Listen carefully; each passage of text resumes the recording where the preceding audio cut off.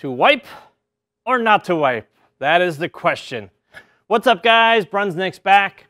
We're gonna talk about wiping the oil off your bowling ball. Does it make a difference and does it impact performance? That's what we're gonna look at. I got Specto running, we're gonna look at some of the numbers, I'm gonna throw some shots, and we're gonna see if there's a difference between wiping the oil off your ball and not. Before we get to that, please subscribe to my channel if you haven't already. Now, let's take a look at wiping your bowling ball versus not wiping your bowling ball. All right, we're gonna talk about wiping the oil off your ball versus not. We're gonna start with urethane, then we're gonna go over to the resin. So right now, just finished a test with the urethane ball. Still got some oil on there, so it's perfect to start by throwing it with oil on it and not wiping it. So I'm gonna throw a block of shots. Let's call it three shots. We're gonna look at the overall performance and look of the ball, and we're gonna see if there's any difference between wiping and not wiping. So let's go, let's try it out. Got my trusty black hammer here. Let's throw some shots. We're not gonna wipe it. All right. First shot out of the gate, kinda got it out a little bit far wide. Wasn't my worst shot. It could have cut, cut in a little bit more, but that's the first shot. So just so I'm not tempted to use this thing, I'm just gonna kind of throw it over here. Let's see if we can't strike here. First shot was out a little wide. Let's try not to miss it wide.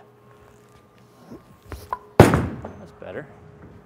Okay. Light mixer. Mixer, light mixer. All right, so I am team wipe. I always wipe my bowling balls. The only time I don't is if I'm shooting like a corner pin with my urethane. It's kind of a trick I do. So I'd always leave oil on my ball to promote skid.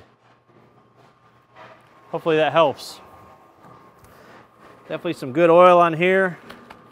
We're not gonna wipe it, not even gonna do the shirt wipe either. All right, let's see if we can't get one flush or if it's just uh, gonna have trouble with it because of the oil. Hook. Okay. All right, we got three shots in there. And now we're gonna start wiping the ball with the chamois and see. And then we're gonna go over to resin. We'll throw three shots and then we'll wipe it for three and then we won't wipe it for three. I'll try to throw shots the same way, but this is kind of be more of like a visual, just see if you can see a difference between them. So now we're gonna really wipe the oil off and try to throw everything the same and see if there's any difference or if the ball where I'm lined up at is just gonna go light mixer or if we see a little bit more hook and performance because you wipe it.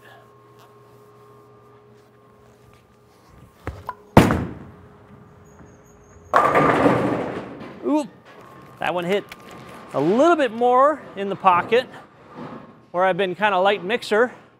That one picked up a little bit, it feel like. That one almost hooked back all the way. Let's try it again.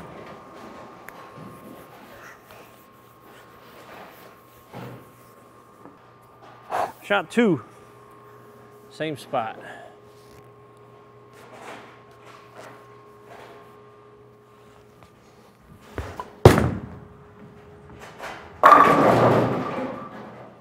We've gone flush. We have gone flush, everyone.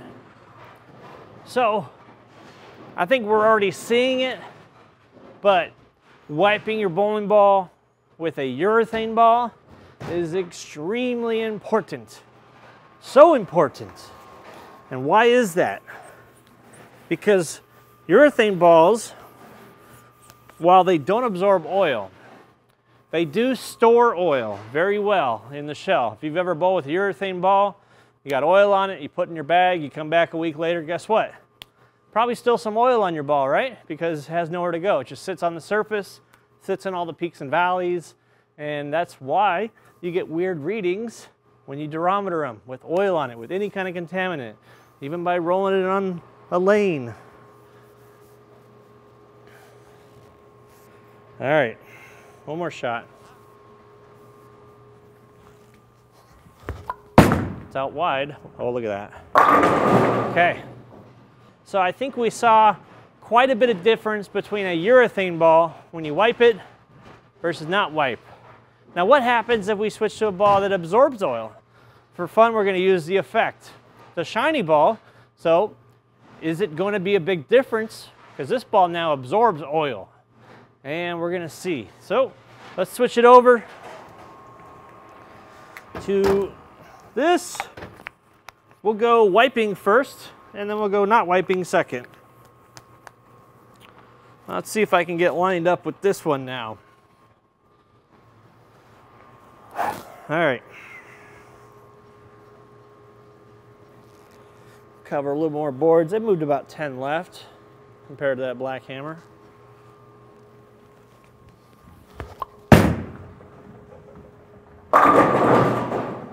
You know? I'm lined up already.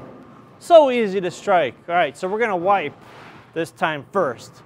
Last time we didn't wipe first. This time we're wiping first. I said so. Yeah, definitely some oil coming off there, so we're in a good zone to test this. Let's throw another one.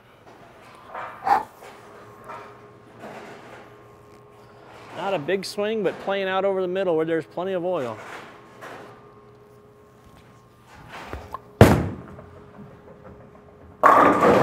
And a two, and a one. Man, that ball's good. I can't say it enough. Effect, best ball 2024. I know, I know, it's only March, but hey, I know a few things about a few things. I'm Nick Stradamus, a bowling. But I didn't see that ball return coming, so gotta get a ball return. Shot three, wiping. Let's throw it. Let's uh, let's get this flush hit going. Let's go. It's a little bit in. That's good. Up. Oh, it's good, I said. I got a little in. I thought I was to ride the oil wave, but it goes. All right. So now I got oil on the ball. I'm to throw three shots now. We're to take this towel and just throw it. It's gone. No towel. So now we got oil on the ball. It will absorb over time, so we'll be quick about it. Three shots. Let's see if we can't uh, see any difference with the resin ball.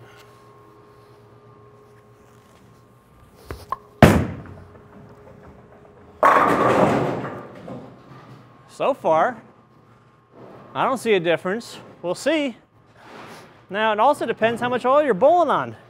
Could be a lot more oil than I'm bowling on. I mean, this is only 22 units, 20 something units, 22, 23.